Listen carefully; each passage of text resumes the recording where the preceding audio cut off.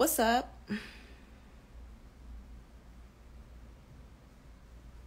I'm waiting for y'all to pop on in here. Hi.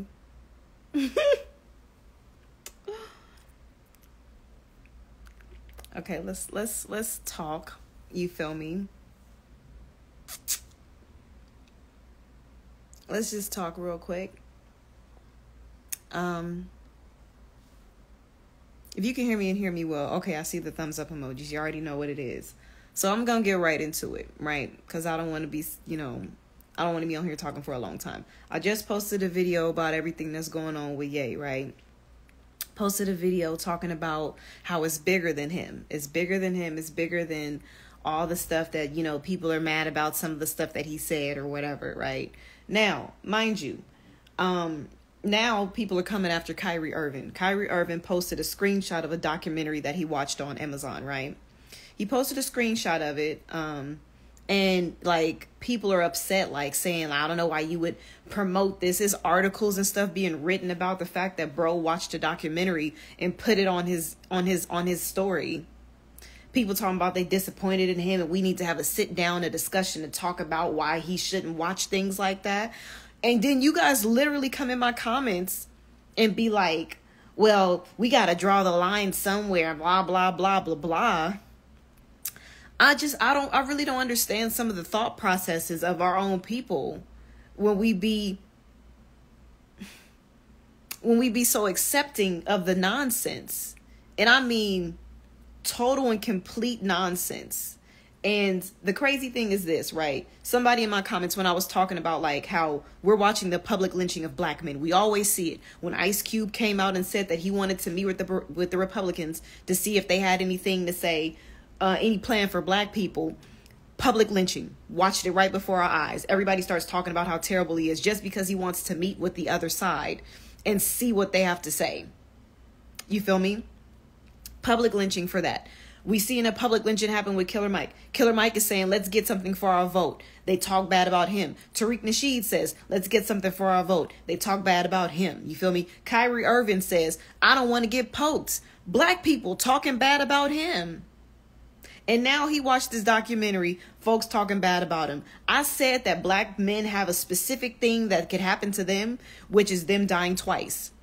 Nobody else has to worry about that because it's our men that whenever they build something, they build some sort of legacy. It's always try to destroy them even after they pass away. Look at Kobe Bryant. You feel me?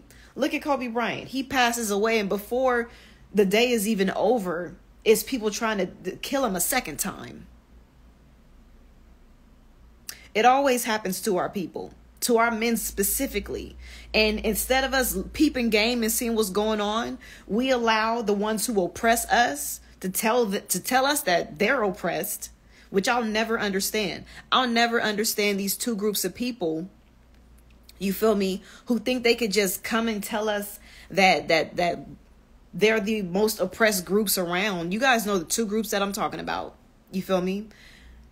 And they come and they say different things and then tell us that they're oppressed when they're the ones who literally have the power to silence everybody. And that's what they've been doing. This is the reason why I got to get on live and speak in codes. I can't even say certain stuff because they silence people and are very good at doing so. But there's no silencing or rhetoric when it comes to negative things that are said about black people. All the music that's out that that is just degenerate nonsense all the shows, everything that depicts us in a negative light. The LGBTQ community got the got the LGB tag removed off of that Jeffrey Dahmer thing because they didn't like how it portrayed them in a negative light. But all these shows about us being pimps and thugs and gangsters and all that, that's still in the black story section. That's still, I mean, that's an accurate representation of us, right? But then if we say the truth of the matter, which is that they're the ones who are controlling this and they're not actually oppressed, but they are the oppressors, now all of a sudden it's something so wrong. It's something so wrong with saying that. It's something so wrong with us telling the truth of the matter. I'm gonna tell you guys a little brief story. I went to Morocco, right? While I was in Morocco, I was I was a part of a travel group, right? It was a black owned travel group that I was that I was going to Morocco with. There was one white guy on the group. One white guy. You feel me? Um, he was Jewish. One white guy that was on the trip. And we went to this coastal city called Essaouira, right? We went to this city and they had Jewish quarters in the city from years and years ago when the city was built, right? From years ago when the city was built. Now, I'm in the quarters, right? We going into the desert. It's me and a whole lot of other black people, and this one white man is slathering on the sunscreen, just glossing on. Bro looks like a glazed donut. He just slathering it on and just slopping and plopping it on all over himself, right? Because he's going, he's excited to go see the land of his ancestors. So we go there, right? And I sit next to him. I said, "What you doing?" He was like, "Oh, I'm putting on sunblock." I said, "You really need that, huh?" And he was like, "Yeah, if I if I don't have it, I'm gonna I'm gonna burn. I'm gonna cook. I'm gonna blah blah blah blah blah." You feel me? And I say, "And this is the land of your ancestors, huh?" This the land of your people, you say. You notice all of us black people here, we could be in the sunshine. We could be out here in the Sahara desert where we were. And I don't need nothing out here. But this supposed to be the land of your people. Oh, okay. I just said that and I walked away from him. Why you slapping that on? You will die out here, bruh. You will not make it. You will burn to a crisp out here. This ain't you ain't you ain't you ain't indigenous to this. You ain't indigenous to nowhere if we being 100% honest. But you know, that's hate speech. They're starting to call truth hate speech. Everybody calls truth hate speech now. You can't tell the truth. You can't tell someone who's morbidly obese that they're morbidly obese and their life is going to be shorter because that's hate speech. You can't tell people that that's not your lineage. You have hijacked an ancestry that doesn't belong to you because apparently that's hate that's hate speech. And I don't I don't really want to hear that. You feel me? Somebody was in the comments just now talking about black people can be oppressors. Lies. Lies, lies, lies. Black people do not have the economic power. We do not have the housing. We do not have the schools. We do not have the hospitals. We do not have the, the lands. We do not have the money to be oppressing nobody. I wish you guys can get that out your head. To oppress someone, you have to be able to have an advantage over them and put them in a in a worse position. We are not the ones, black people, we're not the ones withholding housing, loans, jobs, health care. We're not withholding that from anybody. We don't have the power to. So any person in my comments telling black people can be or no, they no, we cannot. We are literally not in a position to oppress anybody. Which is why we can't even stop our own people from being canceled. Our own people will say stuff that's true, stuff that's good, and we get on and start defending the oppressors against our own people that's oppressing us. I don't want to hear that. I need y'all to stop being dumb, honestly. And I'm, I'm not even trying to be mean. Because people all in the comments like, you talking about the public lynching of a black man. What about the George Floyd and how his family feels? Let me tell you guys something. Because I know we live in a world that has like totally eliminated you guys from opposite like opposing perspectives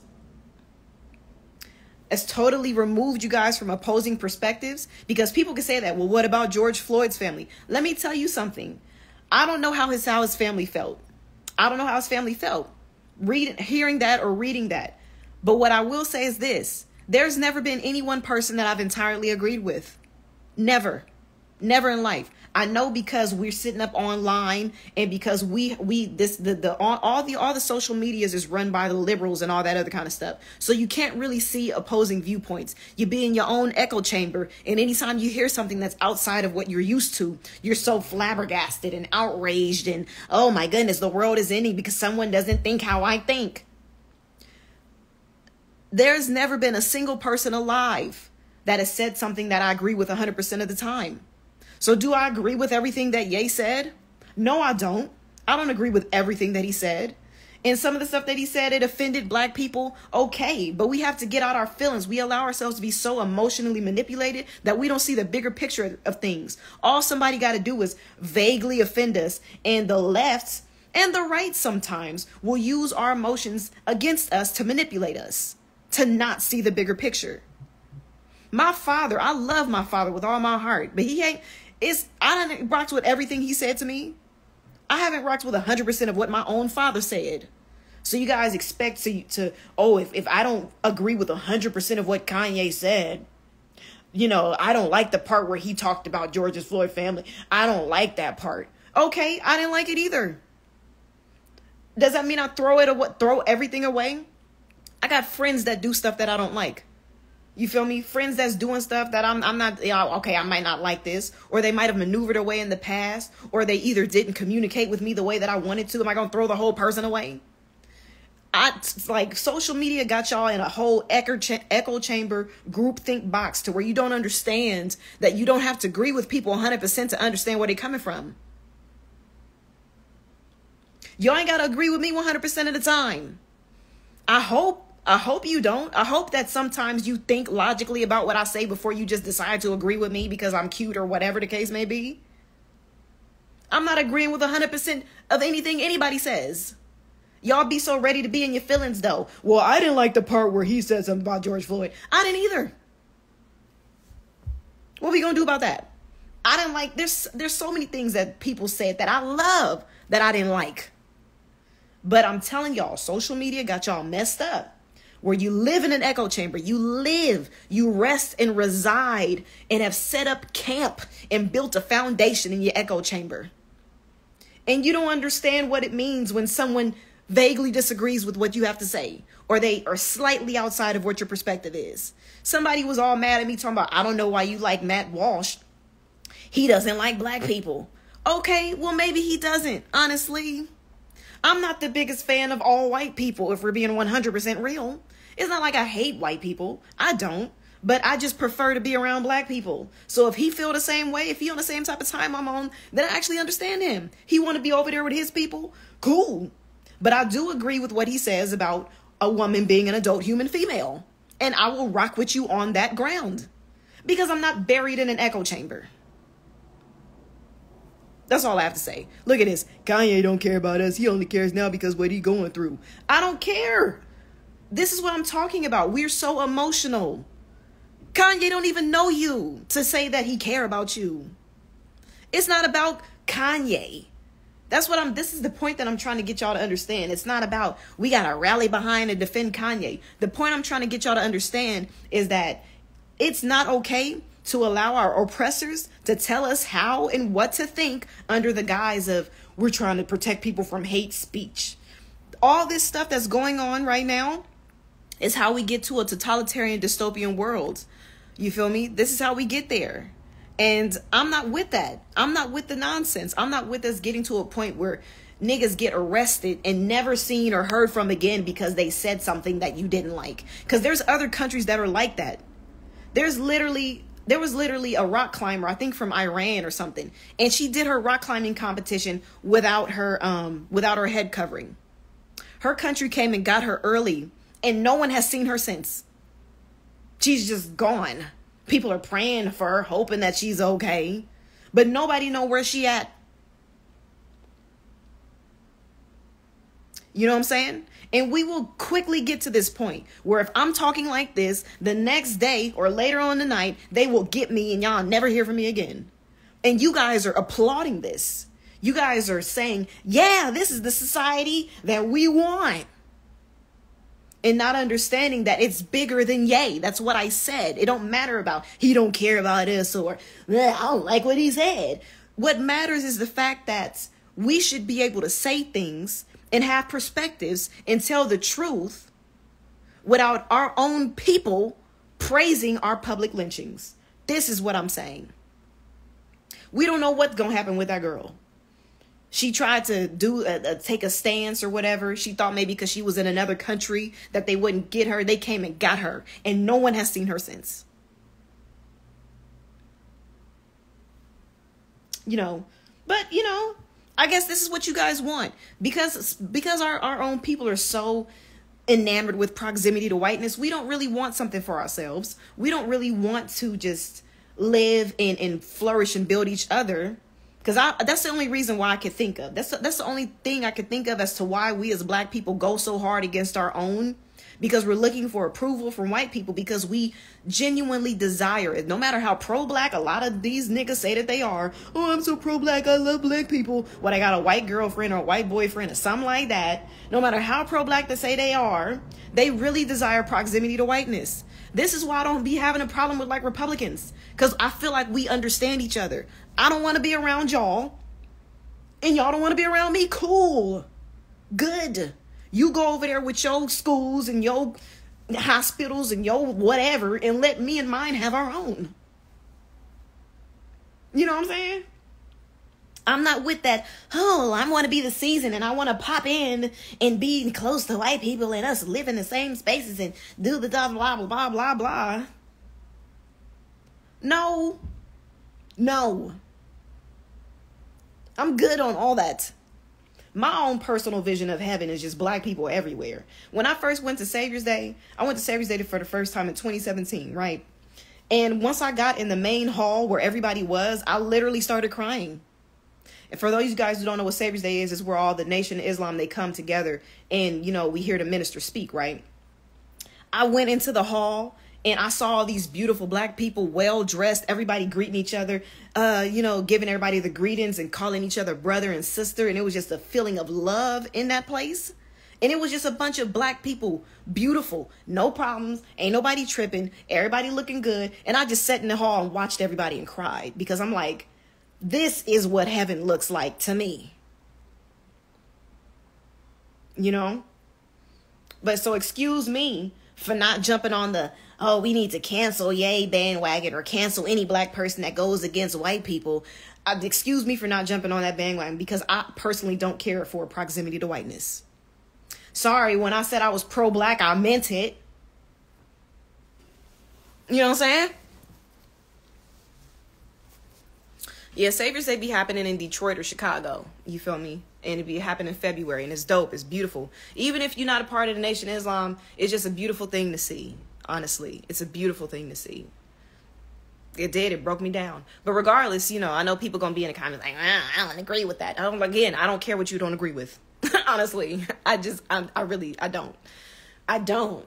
And it doesn't matter if you whether or not you think Kanye really cares about black people or whether or not he do. Uh, none of that matters. It's all about what what we're able to think and say without other people telling us that it's unexpect- unacceptable for us to think and say those things we all would be against physical slavery, right? If white people came and was like, hey, we want to put black people in slavery, we'd be like, no, no, you're not going to enslave us again. But everyone seems to be on board with mental slavery. We're all okay with that. We're okay with the masses of the media and the news and all that telling us what's acceptable to think and say. We're okay with that kind of slavery. That's all I'm saying. You feel me? And that's all I got to say. And if you want to watch the live, I'm posted, but I'm done. Thank you for everybody that bought stickers or whatever that they call it, the badges or you know whatever. Thank you guys for that. I appreciate it. I just want to say what I have to say and get off here because I got stuff to do. But I love you guys. I really do. I love us. I love our people, black people for real. This ain't no game. This ain't no, oh, well, I just get on social media and talk because blah, blah, blah. I really love our people on a real level. That's all I have to say. Goodbye. Enjoy the rest of your Sunday. Love you.